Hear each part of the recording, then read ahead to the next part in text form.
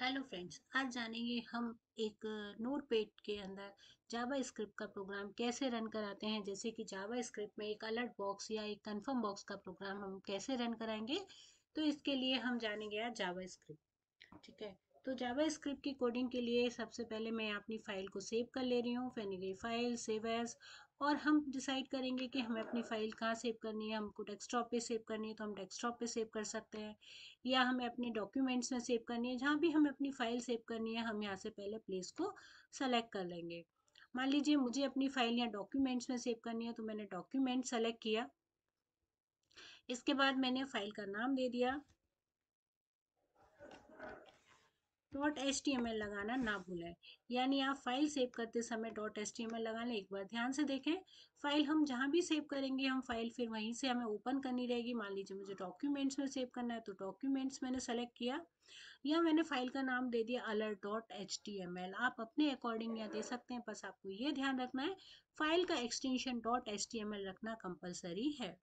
इसके बाद आपको सेव करना है। इसके बाद आप यहाँ टाइप कर लेंगे doc type H T M L head title title देने के बाद आपको यहाँ क्लोज करना होगा हेड हेड क्लोज करने के बाद आपको बॉडी स्टार्ट करनी होगी। आपको मेरा ये वीडियो पसंद आए तो प्लीज़ लाइक कीजिए। और मेरा यदि चैनल अभी आपने सब्सक्राइब नहीं किया हुआ तो मेरा चैनल सब्सक्राइब करना ना भूलें। अपने फ्रेंड्स के साथ शेयर भी करें। बेल आइकॉन पे क्लिक कर दे तो आने वाले नेक्स्ट वीडियो आपको दिखते रहेंगे। जैसे कि जावा स्क्रिप्ट एक हमारी फ्लेक्सिबल लैंग्वेज है, हम कह सकते हैं कि जावा स्क्रिप्ट को हम हेड में टाइटल हेड में भी टाइप कर सकते हैं बॉडी में, और कई बार हम बॉडी क्लोज करने के बाद भी टाइप करते हैं। तो यहाँ मैं देखिए आपको सबसे पहले बॉडी के अंदर एक स्क्रिप्ट का प्रोग्राम बनाकर बता रही हूँ। हम यहाँ लिखेंगे script type equal double inverted के अंदर text slash Java script okay इसके बाद या हमें स्क्रिप्ट को बंद करना होगा। या सिंपल हम स्क्रिप्ट को बंद कर रहे हैं। ओके, अब मुझे अलर्ट बॉक्स का प्रोग्राम बनाना है तो सिंपल हम यहाँ लिखेंगे अलर्ट। जावा स्क्रिप्ट एक केस सेंसिटिव लैंग्वेज है तो आपको ध्यान रखना होगा कि सारे लेटर्स आपको स्मॉल में ही लिखने हैं, यानी जहाँ आपको कैपिटल नीड है, आप वहाँ कैपिटल लिखेंगे। अदरवाइज़ आप सारे लेटर्स आपके आप स्मॉल में ही लिखेंगे, ओके?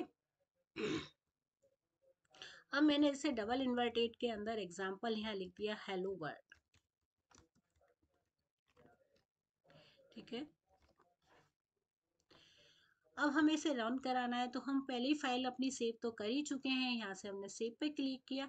मैं नोटपैड प्लस प्लस का यूज़ कर रही हूँ तो मुझे एक आसानी है कि हम यहाँ शॉर्टकट से प्रोग्राम को रन करा सकते हैं। ये देखिए हेलो वर्ड का मेरे पास प्रोग्राम आ चुका है। हम यहाँ ओके करेंगे अलर्ट बॉक्स हट जाएगा। हम वापस अपने नोट पेड पर जा रहे हैं। जैसे कि मैंने अभी आपको बताया, ये प्रोग्राम मैंने अभी कहाँ बनाया था? बॉडी के अंदर। यदि मैं इस प्रोग्राम को हेड में बनाती हूँ तो किस तरीके से बनेगा? यानी मेरे पास कुछ डेटा है जो बॉडी में लिखना है मुझे। मैंने मान लीजिए ये प्रोग्राम यहाँ से कट किया अभी और देन हेड में पेस्ट कर दिया। अब मान लीजिए मुझे यहाँ पर बॉडी के अंदर कुछ टैग भी टाइप करना है, कोई भी, मान लीजिए मुझे एच वन टैग टाइप करना है। या मैंने एच वन को क्लोज किया। अब आप यहाँ पे कोई भी टेक्स्ट टाइप कर सकते हैं।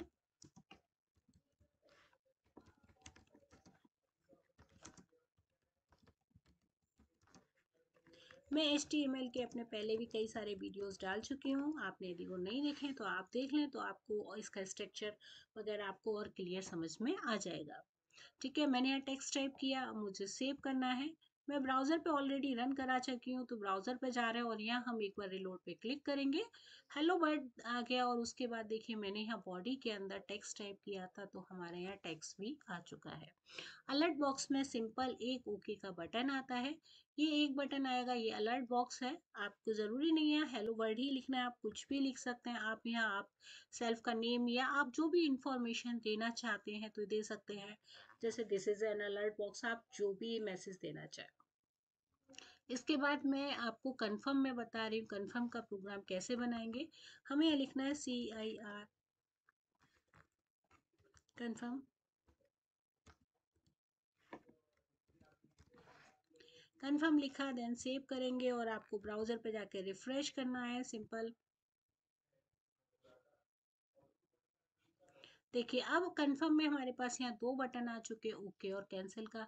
आप ओके भी करेंगे या आप को देखिए एक बार रिफ्रेश करके फिर से मैंने कैंसिल किया, यानी कि कंफर्म में हमारे पास दो बटन आते हैं, इसे हम बोलते हैं कंफर्म डायलॉग बॉक्स। ठीक है? यहाँ मैंने अलर्ट को हटाकर अभी कंफर्म टाइप कर दिया था C O N F I R M और हमने कोई भी चेंजेस नहीं किया है। तो आपको मेरा ये वीडियो पसंद आए तो प्लीज़ लाइक कीजिए मेरे चैनल अभी आपने सब्सक्राइब नहीं किया हुआ तो चैनल को सब्सक्राइब करना ना भूलें। Thank you for watching.